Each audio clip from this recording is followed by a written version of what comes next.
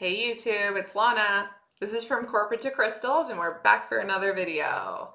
Um, today's video is going to be about twin flame signs that I personally felt like not, not a lot of people talked about or not enough people talked about.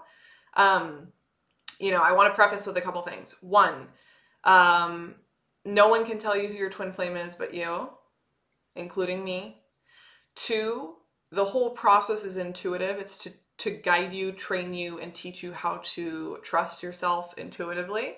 Um, so follow your intuition always, including as a priority over this video.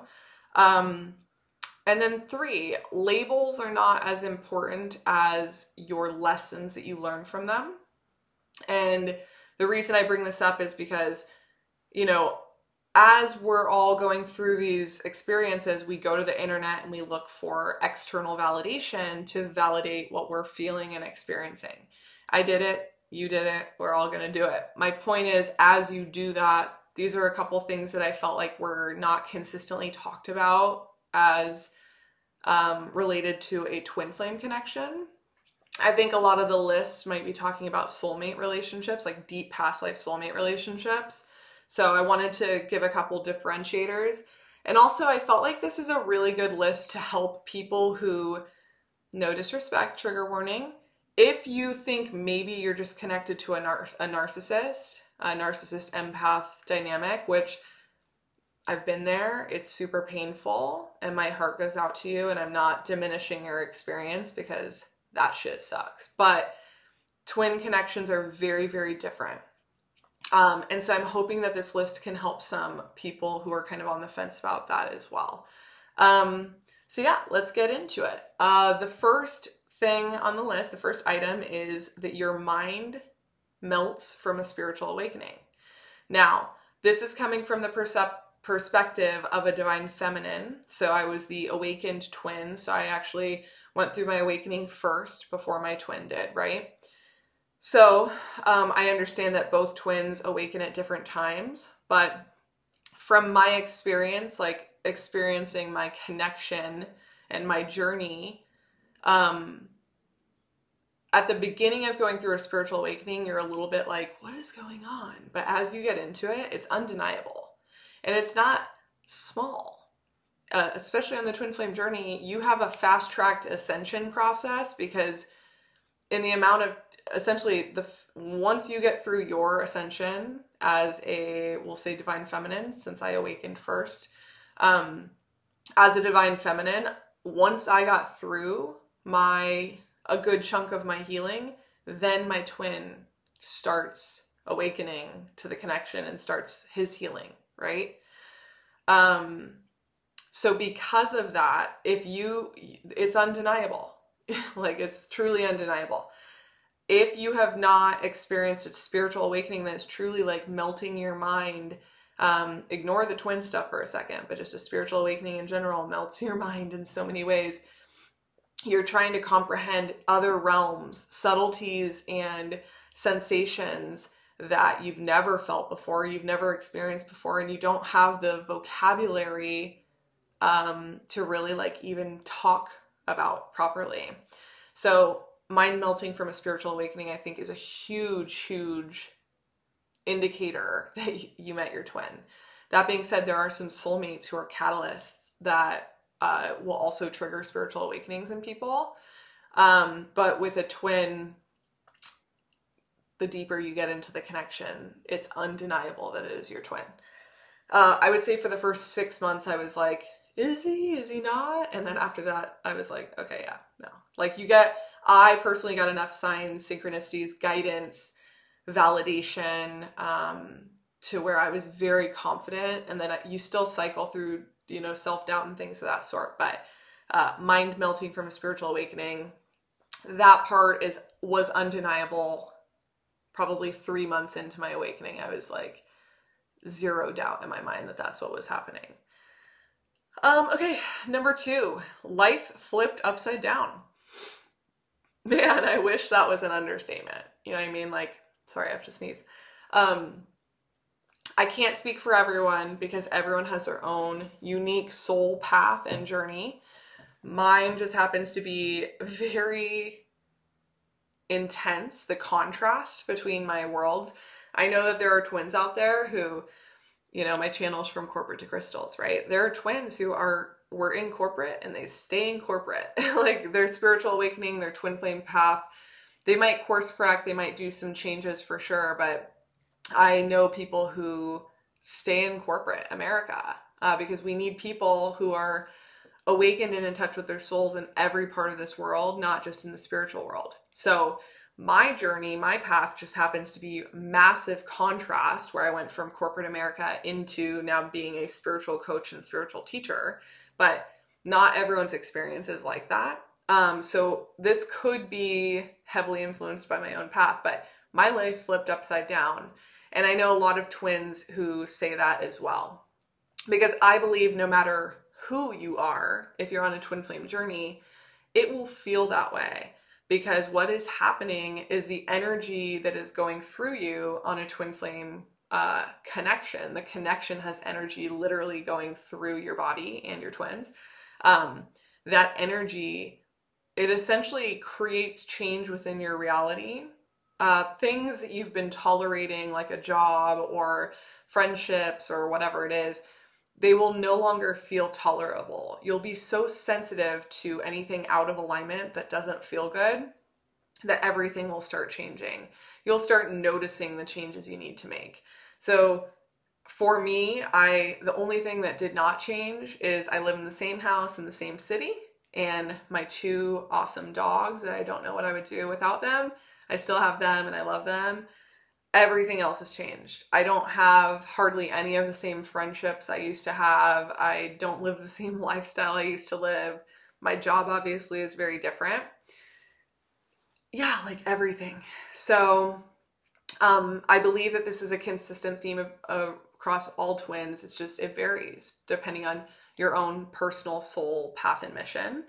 Um, but it will definitely feel like your life flips upside down. Um, so, yeah, I believe that's an important sign. If your life is not changing, well, then it probably isn't your twin. Either that or you're perfectly aligned to your soul mission, which is very rare on this planet, so I highly doubt it. but kudos to you if that's what it is. Um, simultaneously feeling the largest love you've ever felt and the greatest fear you've ever felt. Um, and the biggest heartbreak for some of us. I, actually, I would say for all of us, because separation feels like it is heartbreak. Um, but so back to the point biggest love and biggest fear. I think this is very important because I think that for a lot of narcissist empath relationships, um, I'm going to generalize. There's so many variations to this, but just to keep it short and sweet, what tends to happen is there's attachment style issues that are making it to where this empath, and I've been there, so this is not me. I've literally been the empath in a narcissistic empathic uh, relationship, multiple. And it's like my attachment to this person was so strong, I felt like I couldn't go on without them, right? And then they knew that as a narcissist, they take and we give as an empath. So it's this over giving and overtaking. So it's an imbalanced connection. So, from my experience with a narcissist relationship, I felt like I was give, give, giving constantly. And then this person would like give me a little bit, and I'd be like, oh, validation, you know? Um, it's, it, it gets you stuck in this cycle where there's some running and chasing. So, I understand why people feel like narcissist empath relationships are so similar to a twin connection, but it's totally different. With a narcissist empath relationship, you're literally, it's like an attachment style issue and a wounding issue that is keeping you guys in this cycle of love me more. I'm going to give to make you love me. And this person being like, kind of like running away from you, which is why you're, you're running towards them to give them something. And then them kind of like giving you breadcrumbs or bare minimum to then keep you interested or keep you hooked. Um, with a twin flame connection, the running and chasing, first of all, there's definitely some of that in a twin connection, depending on your twin and you. Once you've healed through your attachment issues, once you've healed through some of the um like the narcissistic like power struggling your twin connection is still the greatest love and the biggest fear you'll ever experience and the only way for you to know the difference because you feel so stuck with a narcissist you feel so stuck with these connections sometimes because you need to heal and learn the lesson in order to move on so best rule of thumb is let the person go and focus on your healing. If they are your twin, trust me, you're going to know. It's not going away. If it is a narcissist, that shit's going to go away. Pardon my French. Um, it will go away. It may take some time, stand strong, but if it is your twin, it's not going to go away. It won't. You will, within the same week, you will experience these blissful moments of like pure love where you're just like, wow, I didn't even know love could be this big. Like, like how lucky am I to be able to experience a love this big? It's massive. It's it brings tears to my eyes, not everyone's eyes probably, but I found myself just literally like it takes your breath away and it brought me to tears on multiple occasions because it's just so big. It's undeniable. Um, on the flip side, it will bring up the the biggest fear that I've ever felt. Ignore the wounding, ignore all the fears of like, you know, intimacy, abandonment wounds, things like that. I'm talking like fear about how strong this connection is. Like fear about if you're able to handle this connection. Like it is so large that you have to actually like talk yourself into continuing to love this person as if you had a choice, but it's very scary. It really is. Like, and I'm someone who is just like, I love to love, but no, like, there were parts where I was definitely the more like comfortable with emotions person, but at the same time, even for me, I was like, can we handle this? Like, holy crap, it's so big. It takes over my whole life, my whole body. I can't breathe and it's a lot. It is so much. So, um, do your healing, let people go, do your healing, and figure out if the wounding, after the wounding is healed a bit, and if you need help, I'm here. Um, but after the wounding is healed a bit, the connection will still be there. It'll still be just as big if it is your twin. Which takes me to the next point, which I wrote time and space does not matter. The connection grows either way, doesn't fade until you yourself are in inner union.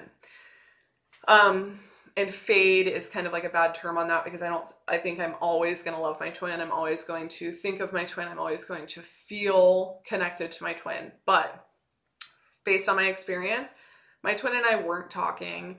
We weren't really in each other's physical reality. We followed each other on social media, but um, there wasn't tons of you know, connection, like in the 3D.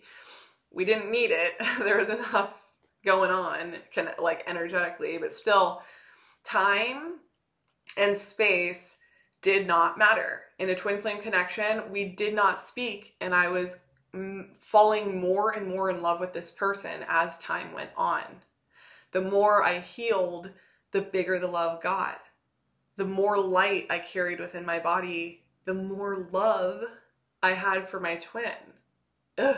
Sometimes that was so overwhelming too because the only way to feel better is to heal and then you like need to live your life and your twin is over there living theirs but you're just falling deeper and deeper in love with this person and you haven't seen them in a year and you it's crazy time and space doesn't matter you're still thinking about them every single day all day you're still falling deeper in love with them. And the deeper the healing you do, the deeper the love gets. And um, yeah, so it keeps growing bigger with a twin. Based on my experience with soulmates, if you are with a soulmate, it can dissipate, like it doesn't continue to grow to that level. Um, once you learn the lesson, it will dissipate. It will kind of like fade out, unless it's like the person you're supposed to be with, which I haven't found that yet, so I'll keep you in the loop. um, okay, the next one is if you're on a twin flame journey, you are a twin flame. Okay. And this took me a long time to figure out. So I'm hoping to like save you guys some time. Um, if you are a twin flame, you are here on a spiritual mission. The purpose of your twin flame journey is for your spiritual ascension and evolution. I'll do another video on this at some point to elaborate on this, but ignore your twin and focus on your spiritual evolution to get through the journey. And if you and your twin are meant to come together uh, in this lifetime, and both of you are doing your healing and both are passing spiritual initiations, then that will happen. And if that's not meant to happen, then it, it won't happen. Um, and for my case, it didn't happen. My twin wasn't doing his healing, but I'm okay with that because holy crap, the amount of spiritual um, evolution that doesn't make sense that I've gone through on my own. It's crazy. It's crazy. I have so much gratitude for the experience. Man, it was painful for a bit there. Don't get it twisted. But at the same time, like, I am grateful. So I'm a twin flame. I'm not with my twin in the reality. A lot of twins end up, unfortunately, not together, but it's for a reason. It's for your spiritual growth. You will know what your grow your spiritual path looks like but you got to get to the end and until you get to the end it's not going to make sense. And by then you're going to be healed. You're going to be experiencing things and understanding why. Um, so just stay strong and do your healing and you will get the answers you need intuitively from within not from anyone else.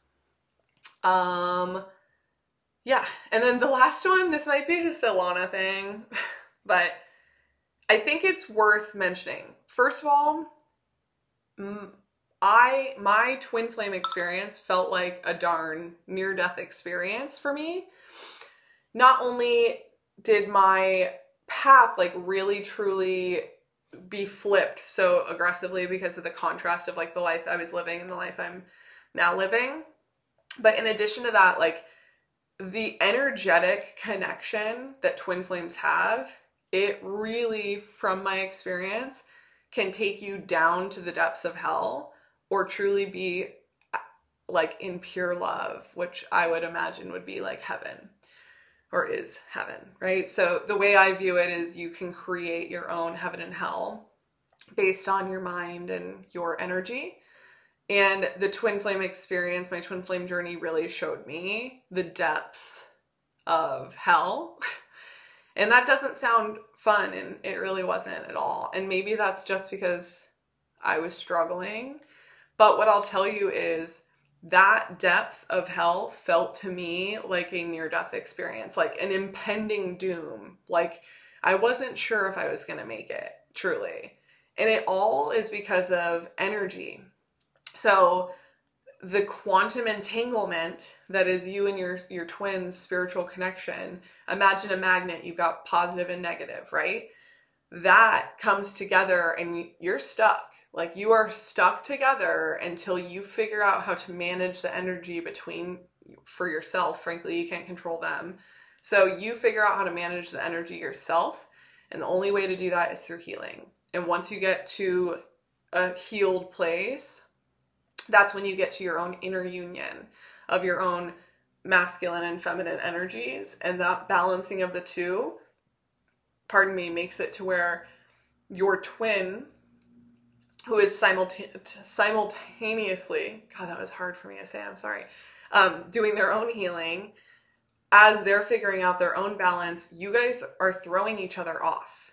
On purpose as part of the journey that's what triggers are there's different tests there's things that are part of your twin flame journey, different spiritual initiations, and like things that are meant to trigger you to get you deeper into healing.